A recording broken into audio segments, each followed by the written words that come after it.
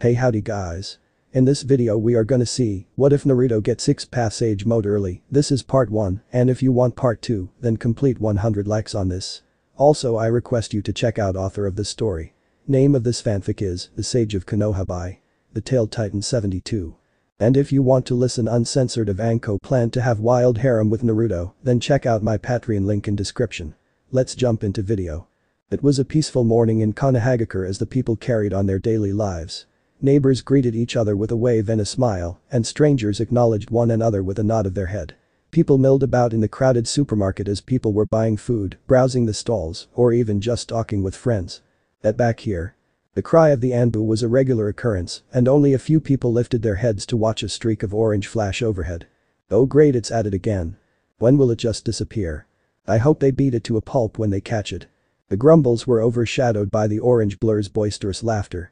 If he didn't already have a bad reputation then many people would have probably said that the boy had a heartwarming laugh with a smile to match. However he was always playing pranks. The day he had done the impressive feat of sneaking into the Anbu locker room and rigged up several paint-filled gas release pellets. Any Anbu present were now painted orange as they chased the delinquent down. The Anbu never guessed to check the fence as they went speeding by. Part of the fence dropped away to reveal a laughing blonde as he pointed at the direction the Anbu just ran. His senses began to warn him his death was approaching, so he took off towards the forest of death, the best place for him to hide. He ignored Iruka's cries and angry shouts behind him as he ran through the forest as fast as possible. He continued laughing until part of the ground opened up into a small tunnel and he slid several hundred feet before being dumped unceremoniously on the ground. Ow. The blonde began to take in his surroundings as his survival instincts took over. A sudden burst of light illuminated the room which caused Naruto's eyes to focus on the crystal with the swirling colors. Naruto, being naturally curious, got up and brushed himself off before approached the strange crystal. He felt an indescribable feeling of familiarity at the pulling sensation the crystal gave off. The next thing he knew, Naruto had lifted his hand which he just brought to rest on the crystal. A massive flash of light filled the room as Naruto felt himself leave that dimension. Where am I? You are in a place that is beyond human comprehension. Who are you? I am most commonly referred to by you shinobi as the sage of the six paths. Why why am I here? You seem to have found my crystal. I'm glad it was you Naruto Uzumaki. I have been watching you for the longest time and I feel that you deserve my gift. Ift. My powers. Every single last bit of my powers and memory now goes to you. It is up to you to achieve what I have failed. And that is. Peace. Achieve peace and you will be greater than I can ever hope to be. Good luck Naruto. A beam of sheer power tore through the ground and shot into the sky. Many people were frightened by the sudden appearance of such a strange phenomenon. It was probably the demon brat. The venerable murmurs of agreement ended the discussion swiftly. Now if only they knew how right they were. Naruto felt felt his entire body being restructured and improved. His small muscles were now developed and he put on some extra height. He looked lean, strong, and one might dare to say predatory after his baby fat disappeared. He went into the hole as a young boy, but now he looked much more like a young man. Once Naruto felt like he was no longer burning alive, he turned his attention to the box next to the pedestal where the crystal once was. He opened the box and found the sage's robe inside. The he threw the material on and found that it seemed to adjust to his size. The robe had white sleeves and shoulders while the rest was gray. A sash-like red belt ran around his waist. Naruto noticed that the robe perfectly revealed the six new Magatamas that were burnt into his chest, much like how the sage's necklace appeared. The Magatamas were all the same color. Unlike the sage's Sharingan red color they were a deep blue color, much like his eyes. The staff was the next thing Naruto noticed. Like the clothes, once he grabbed it the staff shrunk to the appropriate size for him. He quickly placed the staff on his back. He then started to feel a slight tingling in his eyes. At first the blonde didn't think much about it, but now he was experiencing some of the most incredibly unbearable pain he had ever felt. The poor Genin collapsed onto his knees as he frantically clutched his head, hoping that the pain would stop. The pain finally subsided and Naruto was able to stumble to his feet. He quickly grabbed the box with the robes in it and climbed out of the hole. He was happy that the staff didn't clank around unless he wanted it to. He heard the sounds of the Anbu on their way and he quickly disappeared into the forest as he made his way home. Later that night Naruto gazed into the mirror in complete shock and fascination at what he saw. His pupil seemed to have shot out its outer layers as a ripple pattern now was present in his blue eyes, along with three tomo on the first ripple. He could feel ungodly amounts of power coursing through his body as he thought about the sage's words. All of your abilities huh? He muttered aloud to no one in particular. He was also having clear flashbacks as parts of the sage's life played through Naruto's mind as it tried to separate the memories. He was currently watching the birth of the Biju. At the end of their creation, Naruto couldn't help but shed a tear at what happened to them. Not long after their creation they were forced to watch their father figure succumb to old age. Naruto didn't know why, but he felt a strange attraction to the Nine Tails, Kurama. It was like he had known the fox all of his life. Naruto was wrenched from his thoughts as he let out a loud yawn. He dragged his tired ass to bed so he could sleep on all of the information he had gathered that day. Morning. God how Naruto hated morning. He was surprised to find his eyes flutter open at the first glimpse of sunlight. At 4 in the morning. No I'm going back to bed. If only I had shutters. God do I wish I had shutters. Naruto never even noticed his chakra flare up and could only sigh contently when his brand new shutters had closed. When did he get shutters? He suddenly had another one of the sage's memories pop up in his mind as he seen the sage use a strange technique. The name suddenly flared to life in Naruto's head. The creation of all things. Wow. Naruto had just used the technique that created the Bijuu to create some window shutters to keep the sun out of his eyes. He rolled his eyes at his own laziness and got up. He was about to grab his orange jumpsuit when his eyes suddenly fell on the closed box. He opened it once again and removed the robe only to have a scroll fall out. Gently setting the robes aside, Naruto quickly bent down to retrieve the scroll that fell on the ground. He felt that same sense of familiarity with the scroll as he opened the paper. He instinctively put his hand on the kanji and pumped some chakra into it. A poof of smoke erupted from the scroll, and there was now a katana on the scroll. The katana's sheath was purple with a ring of three tomo at the top, three in the middle, and three on the bottom. The handle of the blade was wrapped in golden wrappings. Upon grabbing the hilt he found the wrappings were as soft and smooth as silk. He drew the blade and found he instantly knew how to use it. It was strange already knowing how to use things he was just discovering. The blade had several words carved into the blade. This blade shall only be wielded by the savior of the shinobi world. Naruto just read the words over and over to himself as he walked to his bathroom now dressed in the sage's robes. He admired the design on the back of the robes. The Rinnegan was positioned over the center column of Tomo, while the Tomo themselves were arranged in a 3x3 pattern. Speaking of Tomo. Naruto desperately searched the sage's memories for an explanation of why he had the Sharingan combined with the Rinnegan. As he thought about it the answer became suddenly clear to him. The Rinnegan had been altered by some force within Naruto's own body that must have somehow added a form of Ten Tails chakra to it, so he had the start of the Juubi's eye. Naruto, satisfied with that answer, focused on trying to make his eyes go back to normal with no such luck. Then a sudden mischievous grin spread across his face. They had all heard the stories about the god of shinobi, but those stories never told what the god looked like. In fact, no one except scholars of the subject could even guess at what he may have looked like. Naruto chuckled at his good fortune. Let everyone see it. I'm about to blow their fucking minds anyways. With his answer being set in stone Naruto went back and sealed both the sword and the staff into the scroll which he then concealed inside one of the robe's secret interior storage seals. God do I love this robe. Naruto couldn't get enough of the confused looks the villagers all gave each other as Naruto proudly flaunted his new attire, along with his new eyes. Only a few people noticed the eyes as the rest were focused on the clothing. Many people's eyes lingered on the white cape-like cloak segment that held the intricate design on his back. Another great deal of people found their eyes lingering on the Magatama markings on his chest. When he finally reached the academy he walked into the classroom and was surprised to find he was the first one there.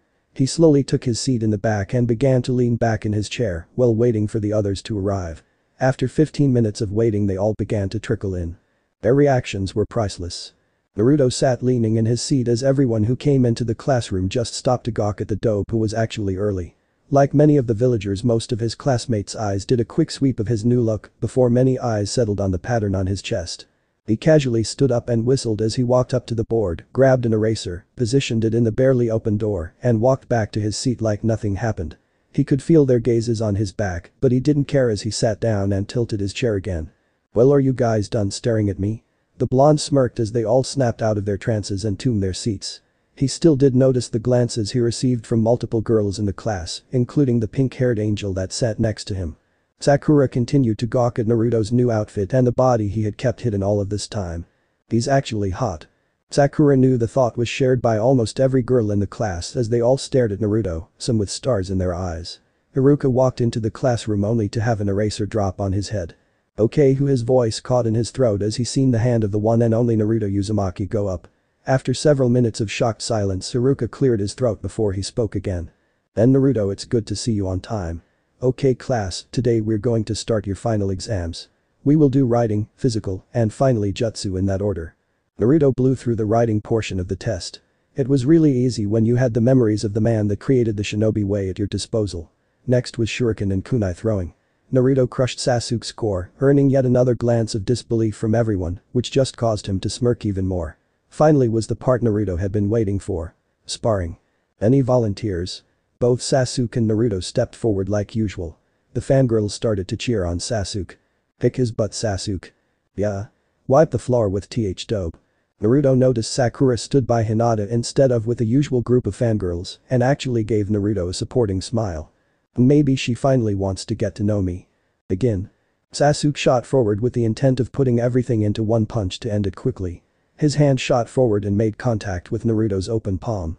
He didn't even pay attention as he spaced out while dodging of Sasuke's attacks. The Uchiha was starting to become angry and his attacks got more erratic. Finally the Uchiha snapped. After so many failed attempts he resorted to his one main jutsu. Pain. Goukakyuu no Jutsu. Naruto didn't seem to care about the fiery ball of death hurtling his way. Finally he sighed and looked at the fireball with a look of absolute boredom. Suiton. Suiryuudan no Jutsu. The bored tone in which he said it caused the Uchiha to grit his teeth. The water dragon seemed to materialize out of the air. Its sheer size made Sasuke's fireball look like a pea. The dragon roared before it rushed towards the stunned. The boy closed his eyes in preparation for the strike when he heard water beginning to splash to the ground. He heard a collective gasp when a cold metallic object was held to his throat. He opened his eyes to find himself staring down the blade of a very impressive katana. You yield. Without waiting for an answer the blonde sheathed the blade and it disappeared in his robes again as he turned around. The Uchiha, seeing an opening, charged at the blonde student with a kunai. Naruto smiled as Sasuke fell forward. Hook, line, and sinker. At the last moment the blonde backflipped over the charging Uchiha and grabbed the black-haired boy by the shoulders as he twisted him around. Once they were face to face Naruto cocked a fist back and let it fly.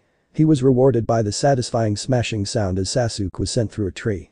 The silence was incredible as he walked off the sparring field to stand next to Sakura and Hinata.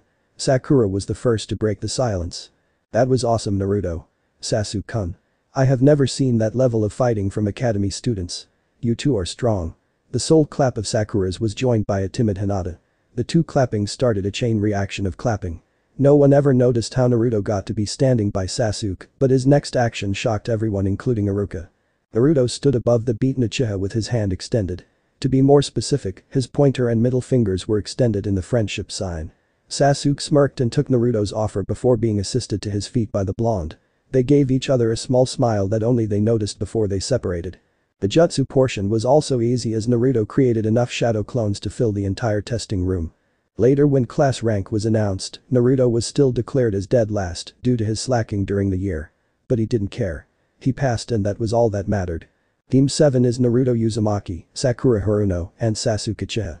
The night was clear and the stars were out. Naruto was laying down on the branch he occupied and stared into the millions of shiny dots. He had taken up this habit right after they began the journey to the wave. Naruto used this time to relax and sort out the massive jumble of memories that ran rampant through his mind. He stared up at the moon when an image flashed to the front of his mind. He seen a great battle being fought as the sage confronted a massive beast with one eye. Then, just as fast as it appeared, the image was gone. Naruto sighed as the memory disappeared. After seeing that flash of an image he wanted to know more about what happened. He heard a sound down by the fire. He saw Sakura through one of his clone's eyes. He noticed her eyes were turned in the direction of the real one as she looked at his prone body. He noticed her subtle sigh before she returned her gaze to Sasuke and half-heartedly tried to start a conversation. HN. The usual response took all of the wind out of Sakura's sails as she began to trace a pattern in the dirt while staring into the flames. He returned his gaze back to the sky while still listening for any sounds of an approaching enemy. The mission had shot up from a C-rank mission all the way to an A rank with the appearance of the Demon Brothers. The blonde sighed as he thought back to that encounter. Flashback begins. Naruto still felt the wave's excitement still coursing through his body. Although he didn't show it, the blonde was doing mental front flips, back flips, hell even side flips at the feeling of finally leaving Konoha for the first time. His demeanor suddenly changed to being completely alert on the inside, while he displayed complete ignorance on the outside as he passed the puddle. He noticed Kakashi's minute nod as he continued to read his book. At his signal, Naruto continued acting as though he didn't notice the two figures rise from the puddle. He played his part perfectly as he watched on in shock as the chain tore Kakashi to pieces. Sakura froze up and Sasuke took a step back as the two figures turned to the three genin. Naruto surprised everyone by smirking and stepping forward while he cracked his stiff neck. Finally. Something to do around here. The blonde-haired genin nearly bounced up and down in excitement. Sakura please protect Tazuna-san. Sasuke protect Sakura. The Uchiha began to step forward to help Naruto fight when he felt an invisible force stop him. You will listen to me and you will protect Sakura. The Uchiha didn't know why, but he felt himself walk back to stand beside Sakura. Now then, shall we begin? The Uzumaki smirked when the two men charged. Naruto yawned as the chain began to wrap around the bored genin. Sakura and Sasuke watched with a sort of sick fascination as Naruto smirked we the chain began to get pulled together with the intention of slicing him apart. Naruto. Shinra Tensei. The invisible shockwave ripped the chain apart link by link and threw the two Missinin into two trees. The forest shook as several trees collapsed due to missing their bases now. Naruto knew the fight wasn't over and had his katana in his hands before anyone knew he had moved. One of the two came from his left and Naruto dodged a pathetically slow attempt at a slash before he rammed the hilt of his blade into the ninja's stomach hard enough to make the man cough blood. Naruto planted his hand on the back of the doubled over ninja and leapt into the air, using the man as a balance and pivot point. Naruto bent his planted arm before H attempted to spring into the air using the man. Shinra Tensei. The wave forced the man into the ground as it propelled Naruto into the air. He brought his blade so the point lined up with the fallen man's chest and let gravity do the rest. From the speed he was falling it felt like butter as his blade slid effortlessly through the man. Without hesitation Naruto lifted his hand and pointed it at the dead man's comrade. He lifted his sword so it pointed right at the man before he spoke. Bansho Ten'in. An invisible force pulled the man off of his feet and right towards his impending doom. The last emotion to cross the man's eyes was one that almost looked like he was begging for his life. Naruto ignored the look and pulled the man straight onto the blade. He dumped the corpse onto the ground and looked at it with disgust and turned to his comrades to speak. The only thing worse than choosing a mission over the lives of your friends is to abandon your village altogether. To kill your former friends for money and nothing more. Missing Nin are some of the lowest scum on this earth. He then turned to face the forest and spoke once more. Okay Kakashi you can come on out. Then flashback. Naruto was glad he had killed those two ex-Miss Ninja, but something felt wrong. He was glad yet he felt disgusted at himself and his actions. He needed to sort through the feelings and to do that required time. So he took the first post for the night. He noticed that Sasuke had fallen asleep during his little daydream and Sakura kept glancing at Naruto, then back to Sasuke and then back again. She was biting her lower lip as if she was in deep thought. He thought she looked indecisive about something, but he just let it go. It didn't matter. He still had his own problems to sort through. Sighing, he laid his head back down and slipped into sleep. If anything entered or even got near the camp, his Kage Bunshin would hold them off while he got to the area. Sadly, his Kage Bunshin were unable to hold the special Dojutsu abilities that he had, except for the linked vision. No matter what his clone seen he could see too. Satisfied with his security grid, the blonde drifted off into a nice deep sleep. Danger. The blonde genin snapped his head up to see a very angry Sakura approaching him. How many times do I have to tell this baka to wake up? She cocked her rage-fueled fist back, but halted the punch when his rippled blue eyes met her beautiful emerald eyes. She felt her anger just fall away under his sleepy gaze. She couldn't meet his eyes so instead her eyes locked onto his whiskers. Eventually she had traced and memorized each one. With her focus no longer being held she looked back into his eyes just in time to see a powerful emotion submerge deep within those blue Dordvault-scald eyes. With only a brief glimpse, she was unable to accurately analyze what she had just seen. She continued to puzzle over it until the blonde genin got up and stretched. He wore no shirt as he slept, so Sakura was a little shocked to find herself running her eyes over his toned body. He was strong, really strong. All of the muscle he had was crammed into his lean form and seemed to just increase the definition of the muscles he already had. Her eyes eventually landed on the strange new markings on his chest that he would openly flaunt with the robe he had taken up wearing since then. She was so focused on the Magatama that she failed to notice the growing smirk on his face. See anything you like Sakura-chan? Her eyes snapped up to his and she noticed the laughter that continued to dance behind his eyes. Before she could clobber him Kakashi stepped in and spoke. Let's go everyone we have to make it there by today. Hi. The squad quickly got ready before they all took off. After several hours of walking Naruto was sufficiently bored. He couldn't find anything to do either so he was literally stuck in his perpetual boredom. His eyes widened in excitement as entertainment flew their way in the form of a giant blade. The genin decided that he would play along this time and see how good his teammates were. He smiled as he hit the ground while quickly pulling the others down with him. The fight goes the same as the show or manga because Naruto acts how he would have to test his team's skills. Aso Zabuza Momochi is after us too. This is going to be an interesting mission. It has gotta be an S rank by now. He glanced at the unconscious body of his teacher before turning his gaze on his slumbering team. They had finally reached Tazuna's house and after a quick meal everyone had passed out. Everyone except the blonde. He tossed and turned trying to get comfortable. Finally he sat up in a lotus position to meditate in the hopes of calming himself to the point of exhaustion. He opened his eyes and found himself standing before a massive cage held shut by a tag with a word seal on it. A single red eye with a slit for a pupil opened and a rumbling voice caused the ground to vibrate. So the prisoner finally gets to meet the jailer. The wickedly toothy grin was slowly revealed in the dark depths of the cage. The day is the day that Kakashi sensei predicted that Zabuza will attack again. The pin cat inhaled deeply and relished the feeling of fresh air before she continued. To be honest, I'm scared. She glanced to either side of her to see if either of her teammates had even heard her. She noticed Sasuke was deep in thought and was completely ignoring. Figures. Sakura had slowly began to see Sasuke for who he was, not who she thought he was. The godlike picture of Sasuke Uchiha had started to crumble that day at the academy.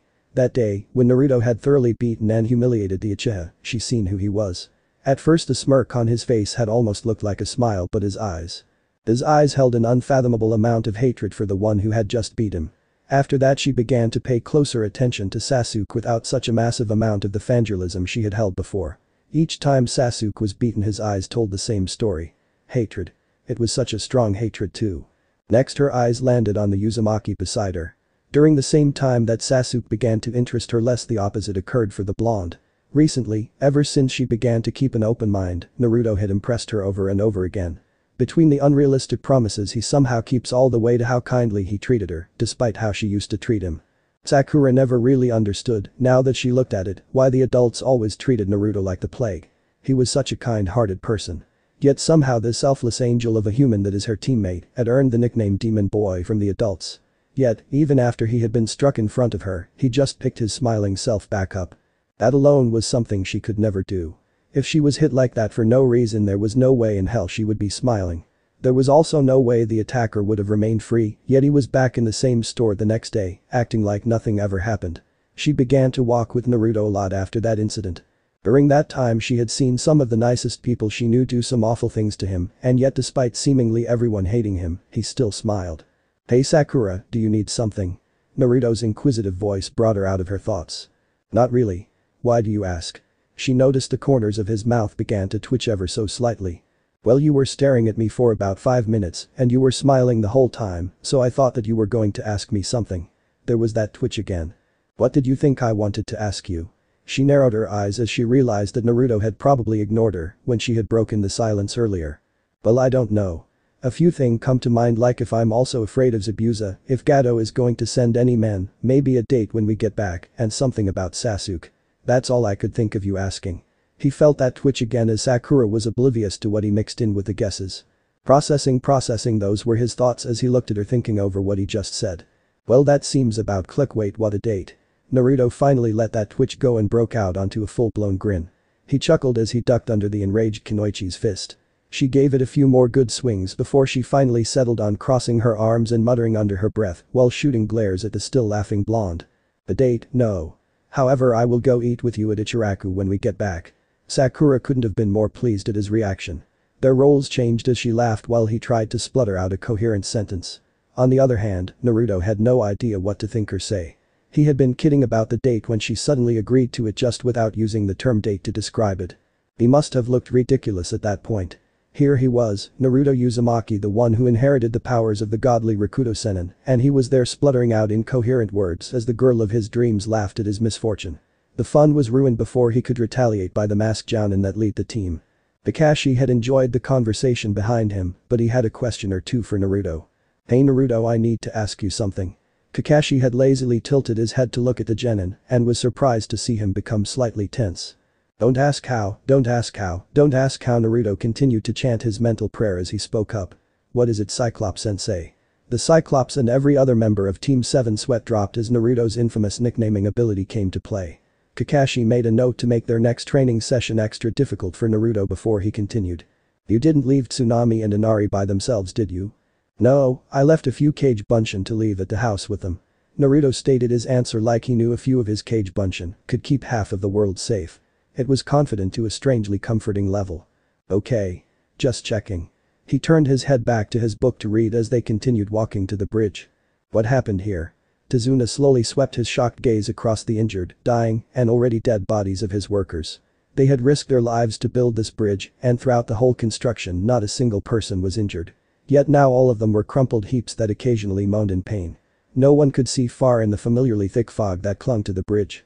They were all on their guards at the sight of the beatdown before them, but when the same voice echoed from everywhere they were on the brink of insanity from awareness as the genin searched all around them. Even Naruto. Growing on that act again. Well hopefully it doesn't stay that way through this whole fight. The Jounin stared hard into the mist until he could finally make out the silhouette of two people. Several water clones came dashing into sight and surrounded the group of genin that protected his target. So you drug the little brats along to huh? Must really want to see them die. Naruto noticed Sakura tense up slightly when Hisabusa had mentioned them dying. He made a mental note to ask about that later before he turned his attention back to the clones. They each wielded the intimidating executioner's blade and all had death in their eyes. I don't think they're going to die today. At least, not if Naruto and Sasuke have anything to say about it. Kakashi's statement was punctuated by the splashes of several very dead water clones, while Sasuke and Naruto stood in front of Sakura, both of them spinning a kunai on their fingers. Too easy don't you think Sasuke? Naruto didn't bother to face Sasuke and instead stared directly at the two missing Kiri ninja. For once I think I agree with you dope. The Uchiha stared at Zabuza's familiar companion, realizing that the now visible Hunter Nin would probably be his opponent. Naruto was glad he had learned how to switch between his regular eyes and, as he so maturely called them, his ass-kicking eyes. Now that he thought about it, he was going to need a name for these eyes. Maybe when he got home he would try to think of one. Even without his new eyes active, Naruto felt confident that he knew what the next few minutes would bring. Well, Naruto turned out to be damn good at guessing things as he and Sasuke attempted to dodge another Senbon barrage. Naruto could have simply repelled all of them, but he didn't want to reveal his eyes yet. After the demon brothers were killed he knew certain people would start to ask questions about how they were taken down so easily. The last thing he needed to do was draw attention to himself by walking around with a Dojutsu that was only seen on the Rikudou Sennin himself. Naruto winced when he felt the bite of the Senbon punching through the skin and plunged into his left tricep. He felt another one cut his cheek while yet another hit him in the chest, several inches from piercing his heart. He did a quick check of his teammate's condition and reached, what he would guess, a medically sound conclusion. He was fucked up. Senbons were sticking out of his back like he was some kind of human pin cushion. His left arm was limp from several meticulously placed senbon that temporarily disables whatever limit hits. The paralysis could only be released when the senbon were pulled out of the chakra point and the corresponding pressure point. Naruto made his way towards the struggling Uchiha with the hopes of being able to redirect the hits. Naruto stay out of this. The blues eyes of the blonde met the red of eyes of the newly awakened Sharingan. Each eye only held two Tomo, but it seemed like everything was trying to move through water from Sasuke's point of view. He tried to stand and was finally able to lift his head to glare at Haku, but only succeeded in opening the way for the three Senbon to become embedded in his chest. The Uchiha took several instinctive steps back to try and move away from the source of his pain. His Sharingan eyes began to flicker between red and black as the pain caused his knees to buckle beneath him as he slumped to his knees. His eyes were locked onto his own chest, or rather, the three new Senbon that joined the other three. The red eyes finally gave way to a solid black dot a strange gurgling noise emanated from the Uchiha's throat before he fell forward onto the cold hard concrete that formed the bridge. The sounds of a girl's screams were overpowered by the bloodthirsty roar. Haku struggled to stand as she peered at the fist that she skewered on. The blonde snarled at her as he ripped his hand out of her chest, leaving behind a nasty gaping ragged hole in her chest. The blonde had experienced a complete personality shift once the other boy, Sasuke Uchiha, went down. Haku had felt awful for doing that to the poor child, but she had justified the action in her mind by saying that it was what Zabuza-sama would want. She tried to fight against the blonde, god did she try, but it seemed like the genin had released centuries of pent-up rage, hatred, and animalistic ferocity all at once. She had no chance against the onslaught that came in the form of the blonde Konoha Genin. It took several blurred seconds before she found the fist protruding from the back of her body. Haku noticed the edges of her vision had faded considerably and the black edges threatened to consume her vision. Her knees betrayed her and she collapsed in a heap on the ground. Zabuza-sama Haku fixed her gaze on her lord, the man that saved her from a life of persecution, as he fought against the copy ninja Kakashi Hatake. A dark and throaty laugh began from her soon-to-be killer. SH noticed that his eyes were back to the solid blue. Then a thin circle of black emerged from his pupil and moved to the edges of his eyes. Several more of the black ripples made their way out and finally settled into place after reaching an equal distance in between each one. Haku watched in fascination as three spinning tomo swirled out of his pupils and settled on the ripple line closest to the pupil. Don't worry about him, that dark laugh sounded so foreign coming from, what she could guess, the usually happy-go-lucky, always chipper and smiling blonde. He produced his sword and silently removed it from the fancy sheath. He will be joining you very soon. He extended his hand and faced the open palm at the back of the completely oblivious abuser. Bansho Ten'in. The former member of the Seven Swordsmen of the Hidden Mist Village found himself being ripped off the ground as it felt like gravity had suddenly changed its rules and now pulled him sideways into it of down.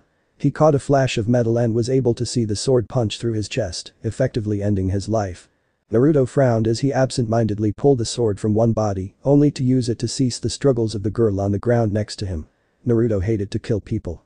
He hated it with a passion, yet he was very good at the killing profession. He noticed Sakura was crying at the Uchiha's body.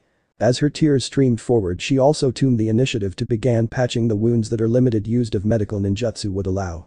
The Sharingan part of Naruto's eyes caught sight of tiny, near microscopic, movements of the chest to signify that he still drew breath. Naruto felt that pang of loneliness again as the thought of Sakura choosing Sasuke over himself made themselves quite prominent on the forefront of his mind. He watched her put her beautiful face onto Sasuke's chest. His heart nearly crumbled at that sight. However, his heart was saved when she tilted her head to the side and began to listen for a heartbeat. Thump, thump. Sakura let a massive smile cross her weary face. He's alive Naruto. He's alive. Sakura was ecstatic that she had been able to save their comrade's life. His breathing was rapidly returning to normal right before their eyes.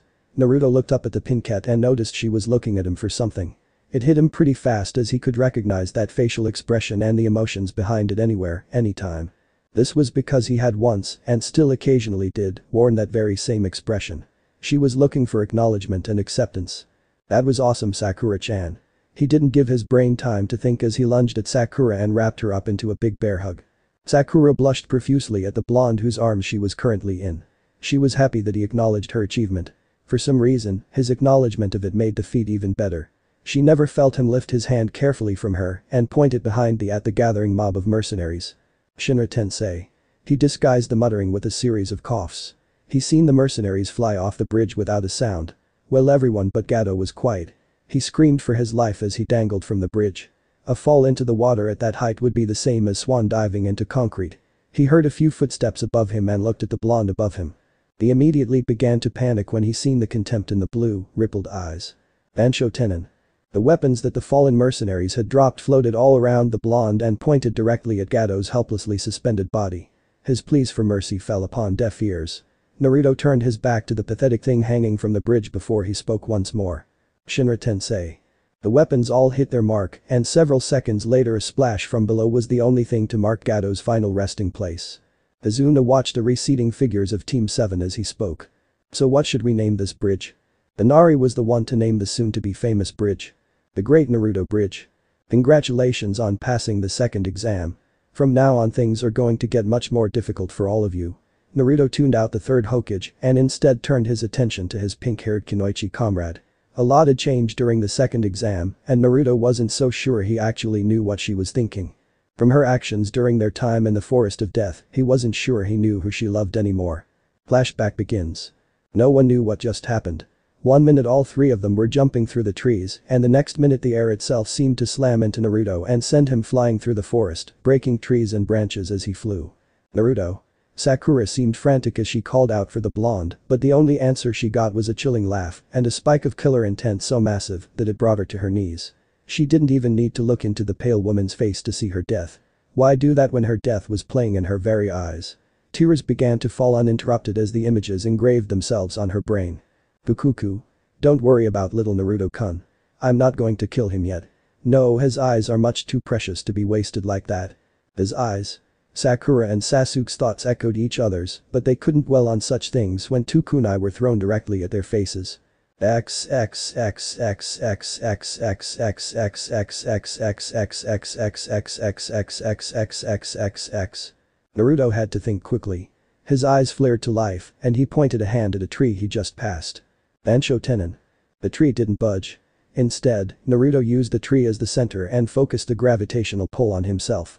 The force of the air bullet was cancelled out and Naruto soon found himself holding onto a tree branch.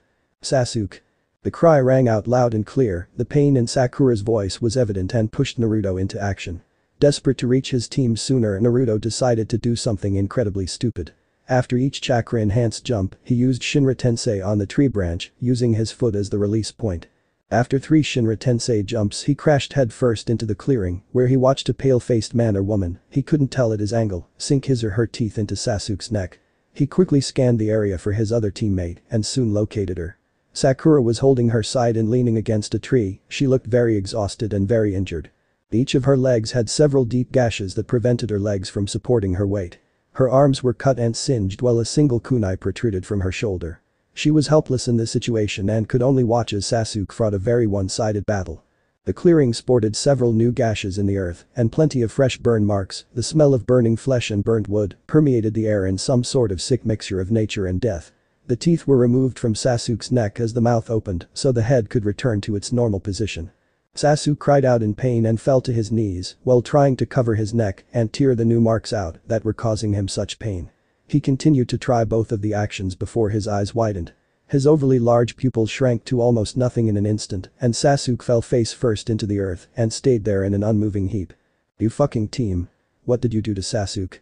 Naruto brought his furious gaze to rest on the eyes of the pale, half-melted face that belonged to what he assumed was a guy. The pale-faced genin licked his or her lips with an unusually long tongue. TSK, TSK Naruto-kun. Why weren't you here sooner when I was giving Sasuke-kun his gift? You're too late to get yours. Maybe another time Kukuku. Still laughing, the pale team sunk into the ground and disappeared from sight.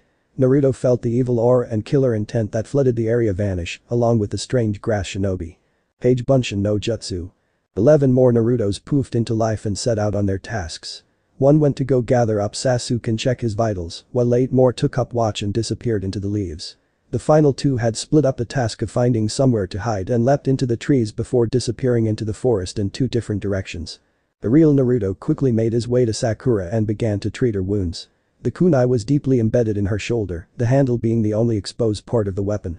Sakura was breathing hard while she tried to do some basic combat first aid to stop or reduce the amount of blood she was losing from several deep slashes and cuts. Naruto felt like he was being stabbed in the stomach repeatedly as he saw her constantly wincing in pain. Naruto could you please grab my pouch? It should have my medical kit inside. I lost it over in those bushes you came through when we fought whatever that shinobi was. Naruto quickly stood and began to search for the lost pouch. During his search one of his two scouting shadow clones dispelled. The memories flooded his mind and he quickly sorted out what the clone wanted him to see. He grinned at his clone's find and redoubled his efforts to find the pouch. After another two minutes of frustrating searching he threw his hands up and groaned. Tilting his head back he caught sight of glinting metal. Upon closer inspection he realized it was a kunai pinning Sakura's pouch to the tree. He sprinted up the tree, grabbed the pouch, and hurried back to Sakura. She instantly smiled upon his return and her smile only grew once he produced her pouch. Several minutes later and plenty of tape, gauze, and thread in the case of the shoulder wound, Sakura was able to bear the pain of standing. Naruto had the shadow clone grab Sasuke as he stuck close to Sakura in case she collapsed. Their progress was painstakingly slow, and Sakura kept apologizing for slowing them down. Finally Naruto decided to try something to speed them up. Sakura-chan. The blonde turned his head to face the Kunoichi as they took another quick break. Nani? Sakura turned her head to show that he had her attention. Do you trust me? He fought back the sly grin that threatened to reveal his plans. What kind of question is that? We're teammates, of course I trust you. Why? Sakura still didn't get where he was heading with this. After a few moments of thinking, Naruto smiled and nodded his head. Good. Well I guess we better get going now. Sakura went to stand when she suddenly found herself being swept into a pair of white-clad arms. She found herself staring into his blue, rippled eyes. He didn't bother deactivating his eyes since he had an advantage to keep them going. It wasn't like he was losing chakra either. Since his eyes had been changed his new eyes were his natural eyes, so he wasn't using chakra to maintain something natural. She quickly realized that she was getting lost in his deep blue eyes and instead focused on the fact that he was carrying her. Naruto I can walk on my own. This is much faster. Don't worry, you said that you trusted me and I'm not about to betray that trust. So just sit back and enjoy the ride. He gave Sakura a warm smile before he focused his attention on jumping through the trees. To her credit, she didn't even lose her temper once. She snuggled into his chest and the exhaustion of the fight finally caught up with her. Thank you, Naruto-kun. And flashback. After that Naruto had decided to head for the tower. He found the other scroll they needed and went straight for the tower. They were the first team to arrive. Upon arrival, Naruto sent Sakura and Sasuke to the infirmary. He then found Kakashi in the room assigned to Team 7 and reported the run-in with the grass shinobi. After that, Naruto hadn't seen any of his teammates until today. He had spent most of the time trying to evaluate the relationship between Sakura and himself. The results of said self-evaluation was frustrating and confusing, so he stopped thinking about that. Instead, he took the rest of the time to hone his mastery of his Dojutsu. During one of his meditation sessions, he stumbled across another memory of the Rikudou Sennin and finally learned the name of his eyes. The sage called them the Eternal Mangekyo Rinnegan. Naruto decided that the name was too long and began to think of another. He was still thinking. He let out a frustrated sigh at the confusing thoughts he was having and began to glance around. He noticed that the Suna team didn't have a scratch on them. He felt a strangely familiar pull when his eyes locked with the redhead. It was unsettling thinking that he knew the boy without actually ever meeting him. He gave his head a quick shake and continued to scan the group. His eyes finally settled on Kabuto's back. His previous suspicions were still fresh in his mind. He remembered the cards that Kabuto had and how much information was on them. When Sasuke asked about Naruto, Kabuto produced the requested card. At the angle Naruto had been standing, he was able to see the card before it was revealed. He had quickly snatched the card and burnt it to ensure his secret wasn't revealed. A secret that his teammates didn't know much about. In fact even the third Hokage was still in the dark about it. He had lied to Kakashi when the one-eyed Jounin had confronted him and was still barely maintaining the shroud of secrecy around his eyes. The same shroud that he highly doubted would remain after today was over. For the first match of the preliminary round, we have the sickly proctor turn to watch the screen roll. Kabuto Yakushi. P.S. Kiba Inuzuka. Naruto grinned. The preliminaries were finally beginning and he wanted to have fun. Naruto was extremely disappointed. He had been matched up against the puppet user from Suna, Kankuro. The fight was fast. Really fast. Naruto had opened with a barrage of wind bullets that were strong enough to punch holes through the puppet. Naruto had quickly followed up by using the bullets for cover to reach Kankuro. After that it was as simple as holding his sword to the boy's throat and it ended the match. He didn't even get to use his eyes. The final lineup was determined by drawing a slip of paper with a number on it. The lineup went as follows. Naruto Uzumaki vs Kabuto Yakushi. Arano Sabaku vs Sasuke Uchiha. Rock Lee vs Neji Hyuga. Hinata Hyuga vs Sakura Haruno. Shino Aburame vs Shikamaru Nara. Sakura had surprised everyone by pulling the win off against the sound Kunoichi. During the whole match she could hear Naruto constantly yelling out his support to her. When she had finally won, Naruto was extremely happy for her. When she got back up by the rest of Team 7, Naruto had shown his joy by wrapping her up in a big hug. She surprised everyone who saw by returning the hug. After that he noticed Sakura was almost always watching him when she thought he wasn't looking. He took note of her behavior and mentally filed it away for later. You have one month to prepare for the finals. Use this time wisely. Dismissed. Naruto walked absent-mindedly throughout the village. He had trained from early morning to mid-afternoon and he was both mentally and physically exhausted. Well, he was exhausted until he noticed Sakura was heading his way. He didn't bother to put his arms by his side and instead kept his hands laced together behind his head, the living embodiment of comfortable at that moment. Hey, Sakura-chan. He heard her footsteps beside him but didn't get an answer. Hey are you okay Sakura-chan? Again no answer. He stopped walking and turned to focus on her and saw the reason she wasn't talking. Sakura sat lost deep in thought about her relationship with her teammates. She had always thought she liked Sasuke, but now that image of perfection lost large chunks every day. She had soon been left with the image of the real Sasuke. A real power-hungry, revenge-driven, uncaring image. She could easily say that she viewed Sasuke as a close friend. Not a crush. She was driven from her thoughts when someone called her name while tapping her shoulder. Reality came rushing back and she found herself standing in front of a concerned Naruto. Hey Sakura-chan, you still alive? He lowered his head to look into her eyes. She felt her cheeks flare to life at the attention he was showing her. Yeah Naruto, I'm fine. Just got lost in thought is all. She gave him the most convincing smile she had and watched as the blonde responded with his own megawatt smile. She felt a warmth spread through her at the sight of his smile. Hey Sakura-chan, you want to come with me to Ichiraku's? She was about to accept until she noticed the time. Sorry Naruto I can't today. I've got Genjutsu training with Kurenai sensei in 5 minutes. That warm feeling left when his smile dropped slightly. Instead she leaned over and kissed Naruto on one of his whiskered cheeks. He was absolutely, without a doubt, shocked. Thank you for believing in me Naruto. I'll see you later. With that the Pinket disappeared onto the rooftops, leaving a stunned blonde behind. Sakura-chan kissed me Sakura-chan kissed me. The smile returned bigger than ever, and the blonde felt energized beyond comprehension. He booked it down the road determined to train until he thought he was ready. One month had come and gone faster than any of the participants could have imagined.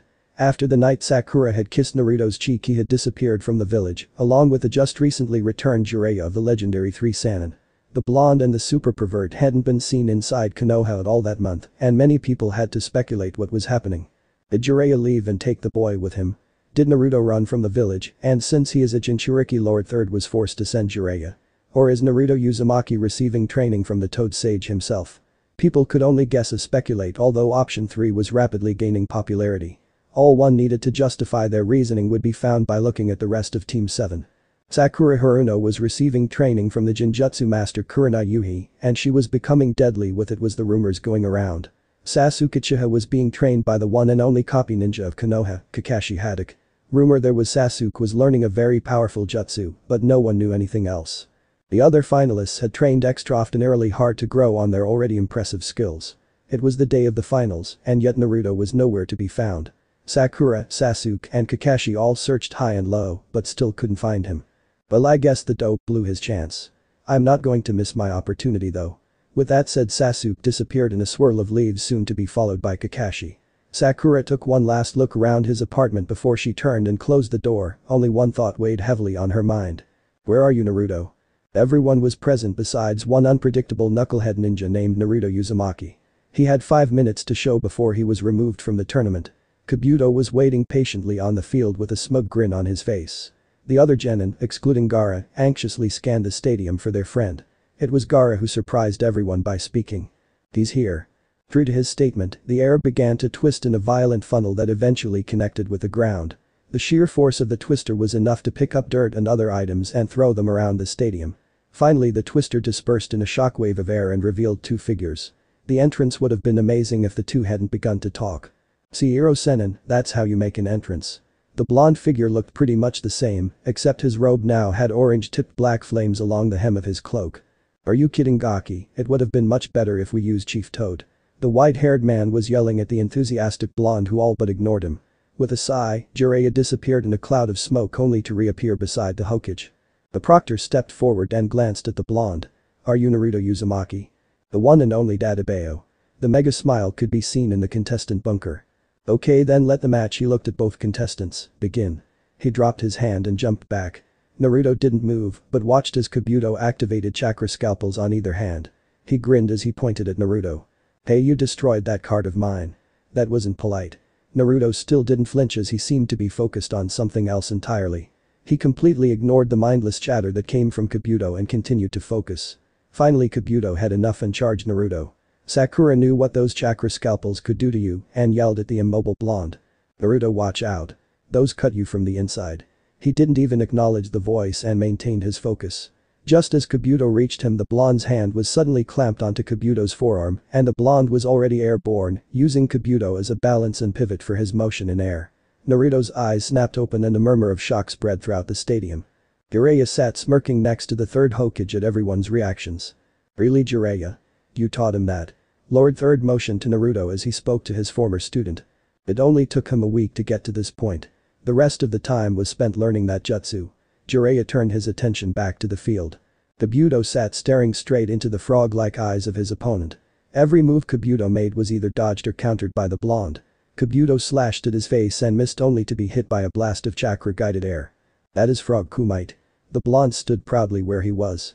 Kabuto realized that he was getting nowhere fast with attacking. Well, well. You have certainly improved Naruto-kun. If only I had my card to mark your progress, Kabuto smirked while Naruto rolled his eyes. That card held secrets about me that not even the third Hokage knows yet. Along with the fact that it almost revealed who my parents were don't get me wrong, I can't wait to meet my parents, but not because of some stupid card. Well you didn't need to burn it. He smirked even more as he said his next words. I guess that's what happens when you don't have good parents. The hand was around his throat before the air rustled to signify that he moved. Kabuto smiled at how perfect it all just went. What did you just say? The yellow flashed dangerously red and a continuous flicker was seen between yellow and red. As much as I'd like to chat, my master ordered me to kill you so Sasuke-kun wouldn't have to worry about being pursued. Before Naruto could say his question he felt Kabuto's fingertips come to a rest directly over his heart before moving in an X pattern. Naruto's grip loosened and he stumbled backwards. He stared blankly at Kabuto before a little stream of blood flowed out of his mouth. Kabuto quickly closed the gap and began to slash away. Finally he stopped, turned around, readjusted his glasses, and listened to Naruto's body hit the ground with a satisfied smile. Proctor, Naruto Uzumaki is dead. Naruto floated in the blackness and watched clips of his life go flying by. He seen the picture with Team 7 and tried to grab it only for it to burn up. All around him were memories of pain, loneliness, despair, and hatred. With each memory a hatred to live grew deep within his stomach. Just as he was about to turn away from life a flash of pink caught his eye. Thank you for believing in me.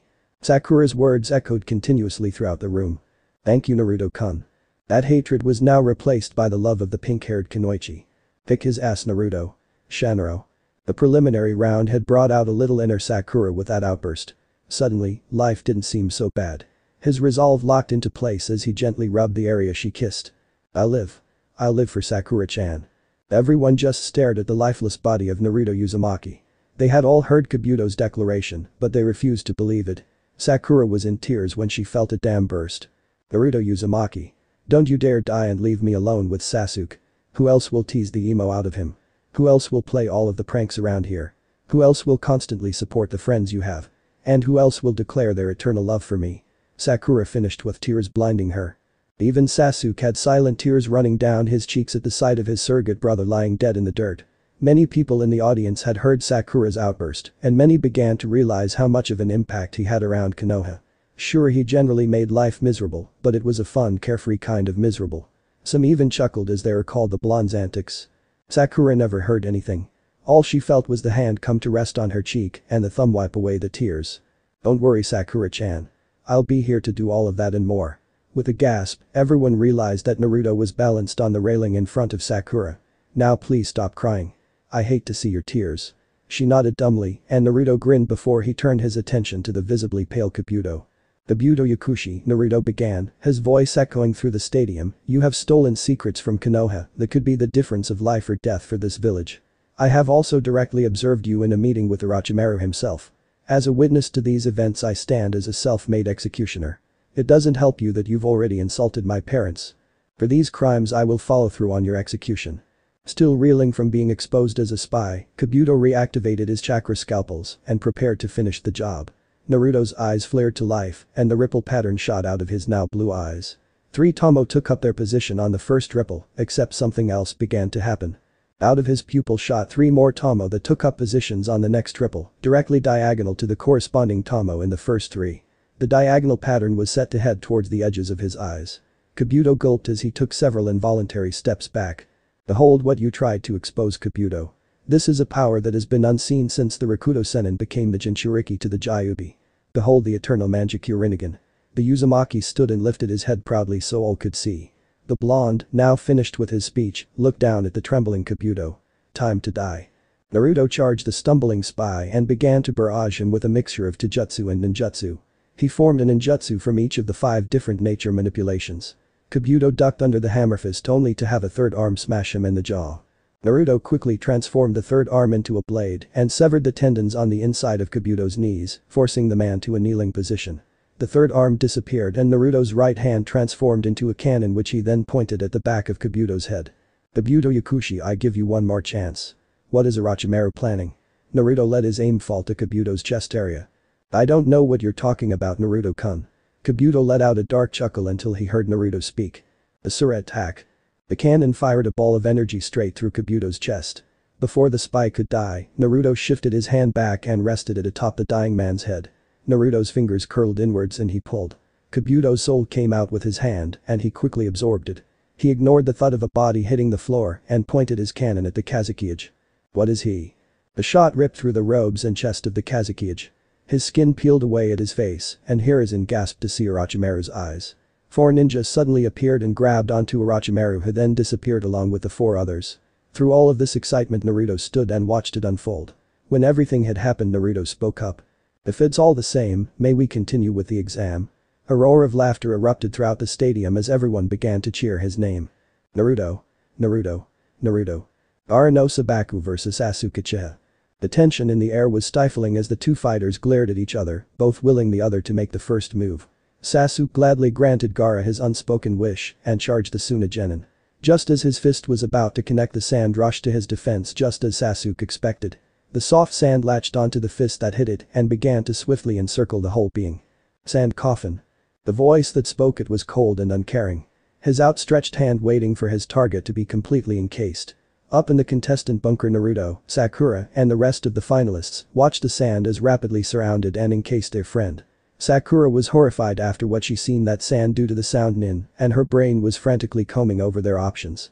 She then heard Naruto snicker and turned on him so she could knock him into next week. That is when she noticed his eyes. Just watch Sakura-chan. He pointed over her shoulder at the massive sand. Sand burial. The sound of splintering wood echoed through the stadium. Realizing his mistake, Gaara heard the chirping of a flock of birds behind him. The sand rushed to his defense, but the lightning passed right through the sand like nothing was there. Gaara felt a sharp tearing sensation in his shoulder and looked down to find a lightning-covered hand protruding from his right shoulder.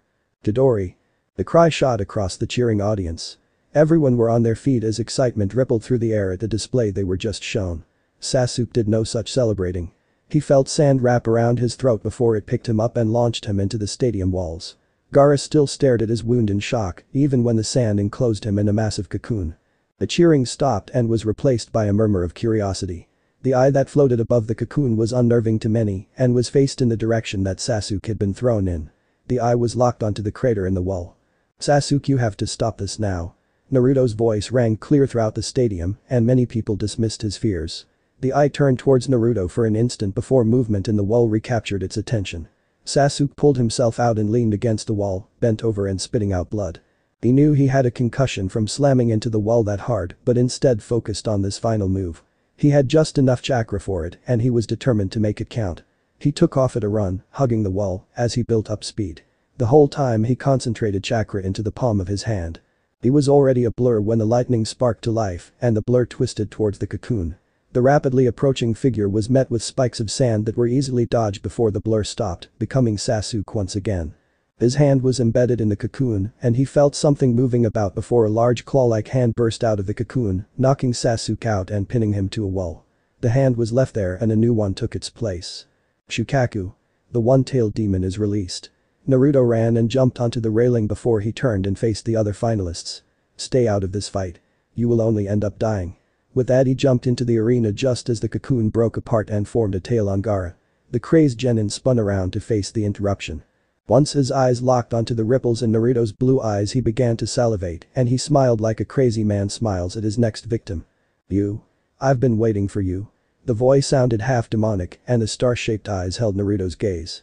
Shukaku release this boy from your control. Naruto's voice held a commanding tone and signaled no fear towards the transforming boy.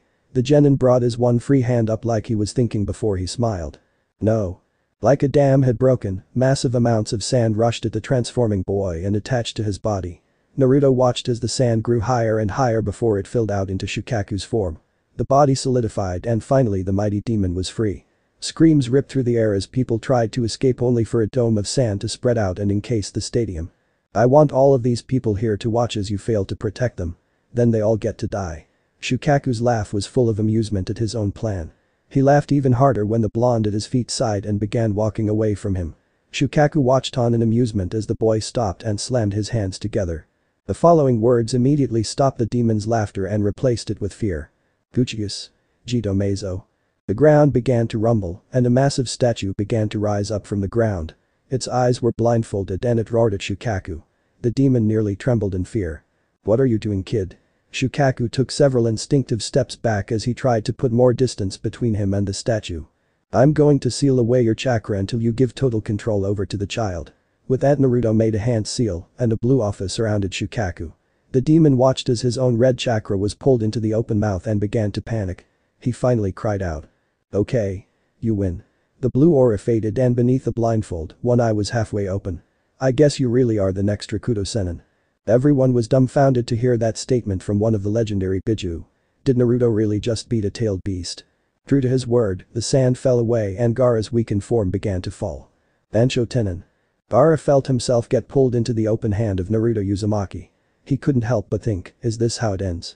He felt the claw-like hands on his stomach twist and it was like a huge weight was lifted from Gaara's shoulders. What did you just do? Gaara gazed at the blonde with curiosity. I sealed away Shukaku. If you ever need him his chakra is still there, but now you must voluntarily relinquish control for him to take over. Naruto smiled at the redhead, but before he could say any more Baki appeared and grabbed Gaara. Gaara was about to protest when they disappeared. But Naruto had heard Gaara's last words. Thank you Naruto Uzumaki. You know what sucks about this whole thing? What could possibly suck? You've made it so that people don't actively beat you and call you a demon child. I say again what could possibly suck? I didn't get to kick the team's ass. That's because he was hospitalized with a major concussion. Let's also not forget that the hand pinning him down had been constricting the entire time, so his chest and ribs are seriously damaged. Good point Sakura-chan well guess I'll just kick his ass when he gets out. Naruto adopted his smile once again as him and Sakura walked down the street. Naruto Uzumaki you are an unbelievable baka. Sakura mumbled into her palm which was pressed firmly to her face in light of Naruto's latest stupidity. Naruto just chuckled and continued walking. He examined his walking companion out of the corner of his eyes. Ever since her motivational speech at the Chunin exams, she had spent a lot more time with him. Not that he was complaining it just seemed out of character for her. He did a mental shrug and kept walking. He was about to ask her something when his super pervert of a teacher landed in front of him. Hey Gaki pack your bags. Jiraiya's eyes lingered on Sakura's slim figure. Oh she will be worth researching when she gets older. Maybe when we get back. What for Ero Sennin? I told you not to call me that. As for your question, we are leaving on a two or three year training trip. We need to get you ready for them. Naruto knew this had been coming and dropped his hands from their relaxed position. Sakura's head was reeling with questions. How long do I have? The blonde looked close to depressed. He didn't want to leave now considering everything with Sakura, but he had no choice. 30 minutes. See you at the front gate. The pervert disappeared in a cloud of smoke. Well Sakura-chan I guess this is goodbye for two years, Sakura gave Naruto a hug before he too vanished. He knew he had to leave then otherwise it would become too hard to leave. Front gate. Naruto was beside Jiraiya as they exited Konoha. They both walked in a different kind of silence. Jiraiya was quiet as he planned what they would do for the next two years. Naruto walked silently out of a growing depression. Leaving now meant Sakura had two years to build a relationship with Sasuke. Naruto knew he had lost. At least, he thought that until a familiar voice rang out. Naruto wait. The blonde's ear perked up and be twisted around to see Sakura come up to them. She couldn't stop the blush from growing and decided to act quickly. Sakura-chan what are you?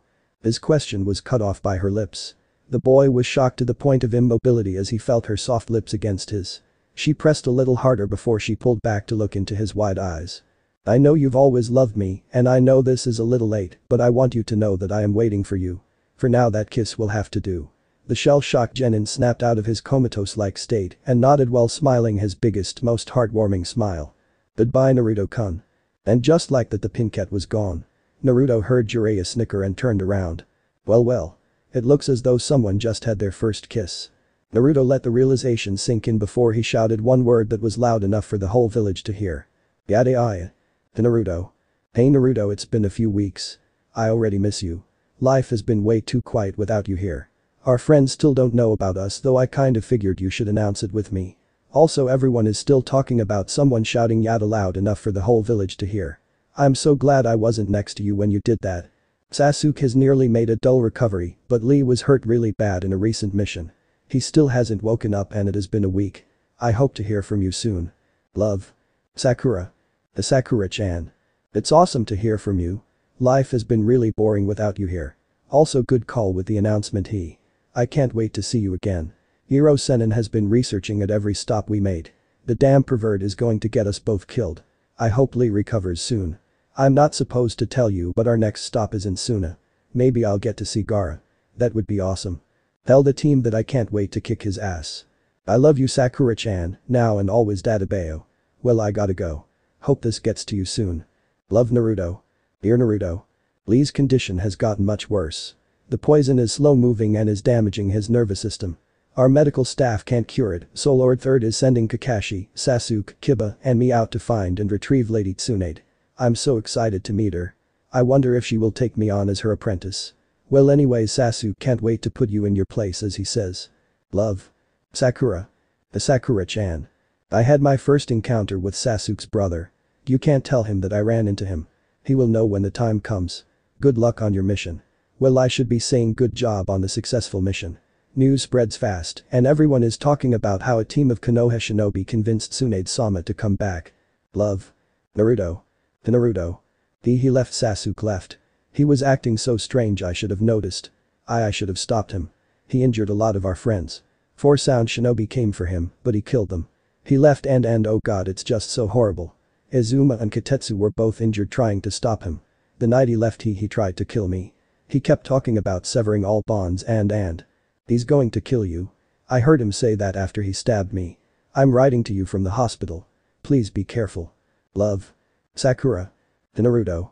It has been several months since your last letter. I'm starting to get concerned.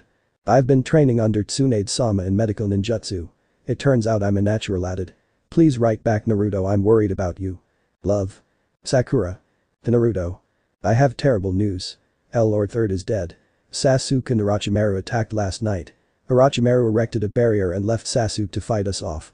Sasuke has become so strong it's not human he is still after you. Please be careful. Love. Sakura. Sakura gazed at the last letter Naruto had sent two years ago. Tsunade had been initiated as the fifth Hokage, and Sakura had been busy making her mark in the field of medicine. She wore her regular skin-tight black shorts underneath her usual skirt with her red top, accentuating her shoulder-length pink hair, think Shippuden Sakura. She was currently on her way to meet Tsunade to see what she was called for. She tore her gaze away from the letter and placed it in her tool pouch for safekeeping. She let out a sad sigh as she climbed the stairs to the Hokage's office. Damn paperwork. Crash, damn desk. Sakura shook her head and opened the door to see Tsunade's desk was broken in half and paperwork was everywhere. Shizune looked more shocked than Tsunade. Shizune you realize that the last stack of papers you just put on here just broke my desk right? Shizune nodded dumbly while gazing at all of the fluttering papers. Are you trying to assassinate me Shizune? Cause if your paperwork is a cruel and sick way of doing it. Sakura decided to clear her throat to announce her presence. Tsunade shocked Sakura by crossing the distance in the blink of an eye. Let's talk on the roof. Sakura nodded and followed her teacher to the roof. Sakura was still puzzled by the summons. It was obvious that this wasn't a mission, so that could only mean it was a request that was personal in nature. They finally reached the roof and Tsunade began to pace while thinking of what to say. What is it Tsunade-sama? Sakura was slightly concerned about her teacher, but Tsunade replied without thinking. It's about Naruto. Right away Tsunade knew she had to keep talking when Sakura's expression became Philex with concern. He is coming home in a few days. He is also bringing some people that well I don't know what to think about it. You try to figure it out. Tsunade huffed as she dug into her pocket and shoved a letter into Sakura's waiting hands. She skimmed over it and her breath caught in her throat. He was coming home. Dear Sakura-chan. I'm so very sorry that I haven't responded to your letters. I have made friends with a group of former enemies so I've been training with them. One even has the Rinnegan like me. The group's name is the Akatsuki. They were former Bijuu hunters and one still is. However he left when they agreed to come with me. Anyways I'm on my way back as I write this, so expect me soon. Love. Naruto, the new Rikudou Sennin, that's what they call me. It's so awesome Dattebayo. It has been three days since Naruto sent that letter. It now marks the third day that Sakura was found waiting near the gate, anxious for her well her boyfriend to come home. This behavior was once considered normal for the Pinket, but ever since she began training under Tsunade, she had developed into a strong and confident shinobi. Many people would hardly agree with the strong part of that statement. So, considering who she has become, this behavior was looked upon as quite strange for the girl. Hey Sakura. Still waiting. She turned to the sound of Izumo's voice. He looked at her with the tiniest of traces of sorrow. He was sad that the girl kept waiting after her shift at the hospital was over. She was waiting for someone that could show up anywhere between now and next month. Still he tried his best to keep her entertained. His partner was still in therapy from his injuries. That run-in with Sasuke had nearly cost them their lives. Yeah. I know that he will be back soon. I don't know why I do, but that doesn't change the fact that I do. How about you? How are you and Kotetsu doing? Sakura remembered how badly wounded those two had been. After she was patched up those two had been rushed in for emergency treatment. I'm a lot better thanks to you. I still can't thank you enough for helping me when those complications arose. As for Kotetsu, he has definitely seen better days, but he is a lot better than he was right after that Chidori was rammed through his stomach. Hopefully he'll be out of therapy soon. Izumo didn't notice he was rubbing his arm where the bone had been snapped. He still felt a shiver run down his spine when memories of the bone jutting out of his skin would pop into his mind. The boy had been ruthlessly efficient. Well that's good to hear. Sakura continued talking and was too absorbed in the conversation to notice the group of people coming into view. It wasn't until Izumo suddenly smiled and pointed behind that she turned towards the gate. In the distance she seen several figures all led by two people. As the group came into view Sakura smiled at the sight of the wild, untamed blonde hair and the spiky white hair that the two people sported. Naruto. Seriously how far away is this place? Deidara if you don't shut up I'm going to Shinra Tensei your ass back to Iowa. Naruto had just about enough of Deidara's bitching and moaning, which had started back at the border of the fire country. He was very happy that they had all joined his cause, but even his patience has a breaking point which Deidara was fast approaching. Whatever. The other blonde shrugged and continued walking. Nagato sighed at Deidara's actions. He had long become used to this kind of behavior from the explosives expert. He went back to thinking about his decision to join his long-lost cousin in achieving his goals. Their goals were somewhat the same. Collect Bijuu chakra. However Naruto wanted the Bijuu to volunteer and he only took a fourth of the Bijuu's chakra. He had originally joined to trick the blonde and extract the Kyuubi, but over time his plan crumbled as the young man gave him no opportunities to carry out his plan. He was also surprised at how successful his method was working so far. They had been able to collect chakra from the Hachibi, the Rokubi, the Nibi, and the Sanbi otherwise known as Gyuki, Saiken, Matatabi, and Isobu. He also had already obtained some of Shukaku's chakra. Once inside the statue, Naruto let the clone of the Bijuu grow out of the chakra that they had. The plan was so simple, obviously created with little thought or planning, yet the perfect person needed to pull it off was leading the effort. Thank god we're finally there. Deidara's outburst jogged Nagato from his thoughts, and he looked up to see the walls of Konoha looming ahead. He was relieved to see the end of their travels was in sight. Naruto had seen two people by the gate, but from this distance he couldn't make them out. One was standing and was clearly talking to the one that was seated. He could only assume that the seated one was either Izumo or Kotetsu, but he couldn't make out what they looked like yet. The standing one was clearly a female if the long legs were any kind of a giveaway. Once they got closer he seen the sitting one point at his group.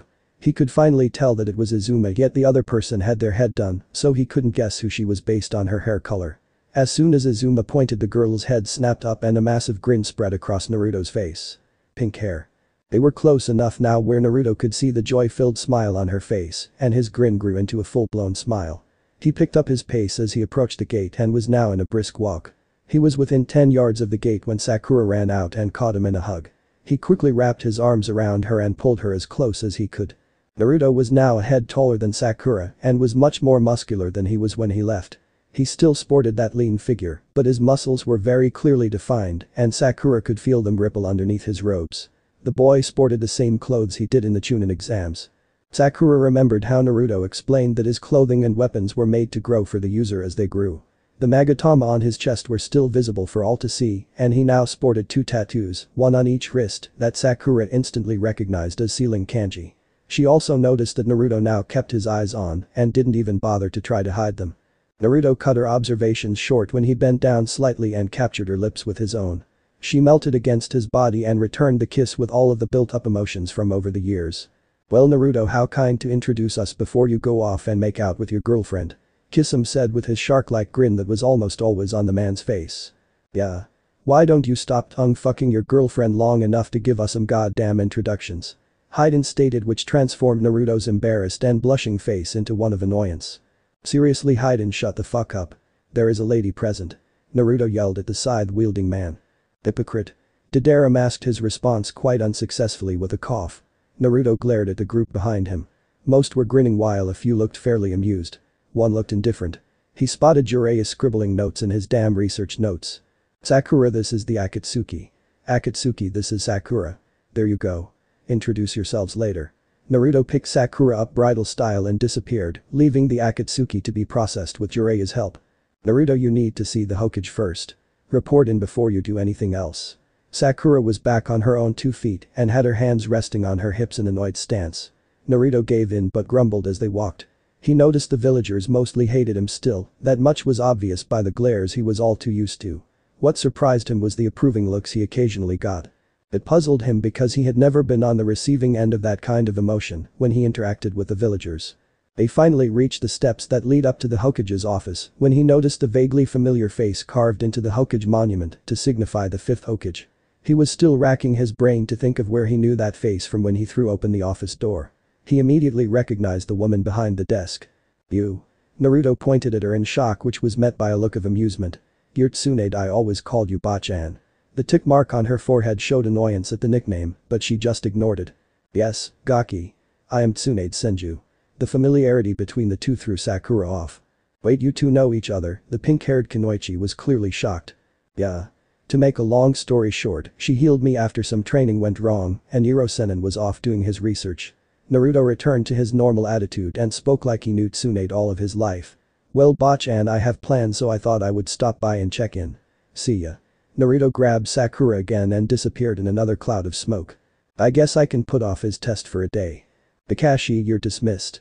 After Naruto had stopped by Ichiraku's for an ungodly amount of ramen, Sakura found herself following Naruto to the top of the fourth Hokage's head. He took a deep breath and looked out over the village from his favorite childhood spot. I'm home everybody. He spoke quietly, almost too quiet for Sakura to hear. If she wasn't next to him she would have missed his words. After a few minutes spent in silence Naruto turned his smile on Sakura. I've missed you so much Sakura-chan. It was hard being out there without you. His hand encased her own as he spoke. His words were filled with the love that he had been forced to contain for so long. Sakura smiled and hugged the blonde while she spoke. I thought of you every day, Naruto. I missed you, but the letters helped. But when they stopped coming I was terrified that something happened to you. Sakura felt the pain and uncertainty she had felt as the memories came back to her. Like a floodgate it opened, everything came pouring out. And when Sasuke left he he stabbed me in my own bed. The look in his eyes so cold cold and filled with hatred. But that wasn't the worst part. When I screamed my parents came in and he he, the tears that were already running only intensified. He cut them down. Right in front of me. He killed them like they were animals. Sakura fell silent and let her tears speak her pain for her. Naruto lowered both of them until they were sitting on the rocky head underneath them.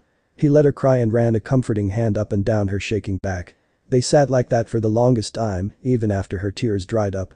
As Naruto sat and comforted the love of his life, he felt like he was ready to find and kill Sasuke at that very second. When she told him how he killed her parents, his eyes had flashed a blood red before returning to the calming blue. The night was growing late and Naruto realized it was time to go home. He picked up Sakura once again and carried her back to his place. He had just began to turn the handle when she spoke again. Oh and Naruto the door opened and he stepped in before he noticed that his apartment was being lived in. I I kinda moved in. My home held nothing but pain and sorrow, so I moved somewhere that reminded me of happy memories. She smiled sheepishly as Naruto processed what she said. Sakura-chan is living with me now he turned towards her and, once he seen her smile, he nodded as all of his questions melted away. Sakura helped Naruto unpack and he quickly resettled into his, correction there, apartment. They were soon getting ready for bed when Naruto grabbed a spare pillow and blanket and began to head for the door. Where are you going? Sakura's tired voice made him turn around. Well I thought that since you have the bed that I would be taking the couch. Naruto watched as she chuckled quietly before she scooted against the wall and patted the bed next to her. No silly. This is your room and your bed. You can sleep here with me. Naruto was shocked for a moment as he let the word sink in. A smile soon crossed his lips and he put the blanket and pillow back before he climbed into bed and pulled the covers over both of them. She turned her back to him and began to fall asleep. Feeling brave, Naruto turned towards her and put his arm over her. He was shocked once again when Sakura closed the distance and snuggled into his chest before sleep claimed her. Happy at these turn of events, Naruto smiled and fell asleep with the love of his life in his arms. I'm home. Sakura woke to something warm around her waist and she felt heat radiating out of the object her back was pressed against. Not the sweating on a hot summer day kind of heat, but a comforting heat that seemed to make her want to delve closer to the source. She sighed happily and made an effort to get closer to the heat, only to hear a soft chuckle behind her. Memories of last night came flooding back just as she was getting ready to punch the chuckling man behind her. Looks like somebody is finally awake. His slight laughter and speaking to her all made his chest rumble and she relaxed even further against it. Nope. You're imagining things. Now go back to sleep. Sakura closed her eyes as she mumbled her tired thoughts to Naruto before her eyes closed again. Naruto looked at the alarm and sighed. 6 o'clock. He remembered Kakashi waking him up earlier that morning, saying that Tsunade wanted to see them by noon at the latest. They still had six hours of anything before the meeting. Shrugging, Naruto closed his own eyes once again and pulled Sakura close to him before falling asleep again. Naruto's dream. Daddy, mommy won't let me go the park without you or my big brother, but he's too busy. Can you take me? Please. The six-year-old girl looked at Naruto with her best puppy dog eyes. Her pink hair flowed down to just below her shoulders and her emerald eyes practically begged him to agree. She was the spitting image of her mother. Okay Haruko. Let's go. He took his daughter's small hand in his own larger palm and began to walk towards the park. The little girl skipped while humming a little tune to herself. Naruto stared at his own face up on the Hokage monument and a feeling of pride washed over him. He got the woman of his dreams, he achieved his goal of becoming the Hokage, and he finally brought peace to the shinobi world. Naruto sighed contently in his sleep and unconsciously pulled his girlfriend's sleeping form closer. Sakura's dream. She was pinned to the bed with him on top of her and his arms on either side to form a primitive cage that held her in the one spot. His blue eyes were absolutely enchanting to her and she felt herself being lost in their depths. She gladly surrendered control over to the blonde-haired man above her as he kissed her passionately. The lust in each kiss was like an aphrodisiac to Sakura and she gladly returned his kisses with equal intensity. They broke the kiss only so he could lift her shirt over and off her shoulders before they once again lip-locked in a battle for dominance. His rough hand groped her through her lacy bra and the sensations caused by his hand caused her to moan into the next kiss. Still unsatisfied, he practically ripped her bra off and tossed the scraps across the room before he leaned back to take in the sight he had longed to see. Sakura squirmed as the unsatisfied need continued to build up in the pit of her stomach. Naruto please she practically shouted out in pleasure when his mouth replaced his hand in the task of exploring her breasts. While his mouth was busy he continued to run his hands all along Sakura's body in an attempt to memorize every square inch of her perfect body. When his hands were finished exploring her upper body, he began to run his hands up her legs in a sweet and torturous manner. He moved his mouth over to give the twin the attention it deserved as his hands. Beep beep beep. Sakura shot over Naruto's body and smashed the alarm clock along with the table it was resting on. She let out a frustrated sigh as her dreams were interrupted yet again by the alarm.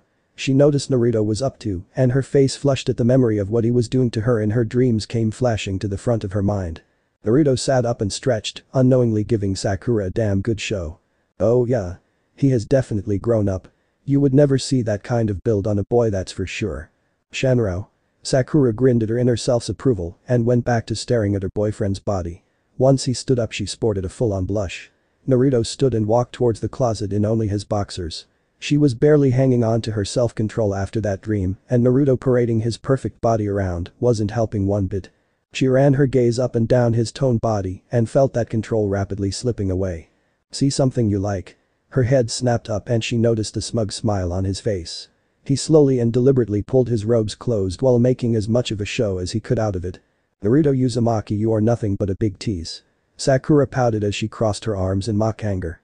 She suddenly felt a hot breath on the back of her neck that caused a pleasant shiver to run through her body. Oh I beg to differ. I will always deliver. He leaned even closer and whispered in her ear. No matter what the situation is. Then as fast as the warm tingle had appeared it vanished just as fast. Sakura let out a shaky sigh and tried to calm her overloaded nerves. Every part of her was hyper-aware of the blonde in the bathroom. The sound of the shower starting brought more dirty images to her mind. She grabbed a pillow and screamed into it with the hopes of venting some of the sexual frustration as anger. It seemed to work too. She felt much better as she pulled the pillow away. That newfound calmness vanished when she felt cold steel on her throat. Do exactly as I say. Naruto walked out of the bathroom and glanced over at the empty bed. He heard a noise in the kitchen and went to see if Sakura was cooking. He came into his the kitchen and his thoughts were confirmed at the sight of Sakura bustling around the small kitchen with multiple cooking utensils in hand. Something seemed off though. She looked concerned and a little frightened. Hey Sakura is everything alright? He watched her lift her head with a smile that was quickly replaced by one of panic as her eyes widened at something behind him. He felt something pierce the flesh on his back and continue its destructive path until it punched its way out of his chest. Naruto looked down to see the top part of a sword protruding from his chest. Sakura's scream made him slowly lift his head to find her covered in his blood. He wanted to comfort her, but all that he could do was gurgle and cough up his own blood. You were always the dope Naruto. Now I'm going to make sure you lose everything. The blade was ripped from his chest, and a foot kicked his heavy and limp body into his table, causing it to break. He watched her dimming eyes as Sasuke grabbed Sakura by the throat and lifted her, so she was staring into his now changed Sharingan. She was looking directly at the Mangekyo Sharingan. A few seconds later she broke out into a heavy sweat and Sasuke tossed her into the wall like a piece of trash. Sa dot dot su dot dot. The blonde was weak, but he forced the name out. Said man flipped Naruto over with his foot and raised his foot. Thus die you fucking demon. The foot came down hard on his face and the blonde blacked out. Sasuke breathed in a nice deep breath as he felt the bonds he had to these two snap. Two down, one to go. He pulled up a chair and waited for the inevitable arrival of the last person on his list. Naruto. Sakura. Are you in there? Kakashi opened the front door and walked in casually. I actually beat you guys to the Hokage's office. What's up with that? He scanned the apartment until he noticed a foot just barely visible on the kitchen floor. He remained calm but pulled his headband up to activate his Sharingan. He reached the kitchen door and entered the room as he quickly ducked.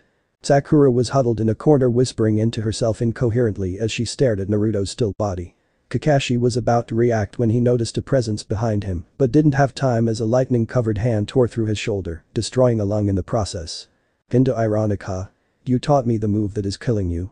The hand was pulled from Kakashi's body, and the silver-haired Jounin collapsed to the floor and remained still. The Uchiha turned his hateful eyes toward Sakura and spoke. Go and tell what has happened here before my mercy runs out and you join them.